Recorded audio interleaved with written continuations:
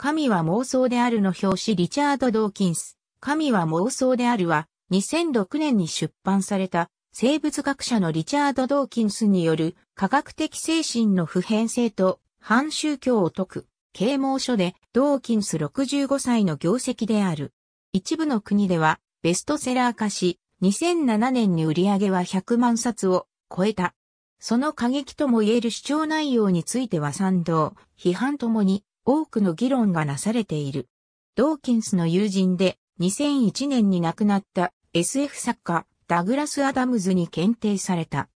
本書にも引用されているキリスト教神学者のアリスター・マクグラスが後に、自著、神は妄想か無神論原理主義とドーキンスによる神の否定への中で、本書の妥当性について検証している。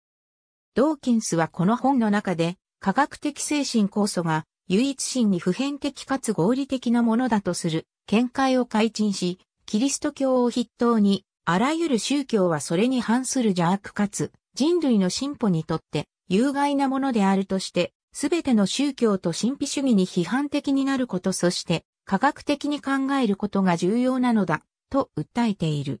この点において、スティーブン・ジェイ・グールドの唱える科学と宗教との相互不可侵の考え方とは一線を画している。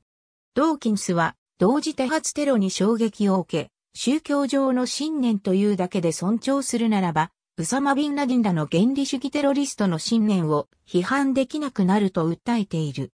また、この本はアメリカ合衆国におけるキリスト教原理主義を意識したものとなっており、反進化論や中絶反対派による産婦人科医の殺害などを例に挙げて繰り返し、批判している。